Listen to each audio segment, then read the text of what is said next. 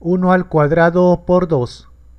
Empezamos acá. La propiedad dice que cuando tenemos un 1 con cualquier exponente, todo esto sigue siendo 1. Aunque el exponente sea decimal, raíz cuadrada, etc. Ahora baja el por, baja el 2 y 1 por 2 sería 2. Listo.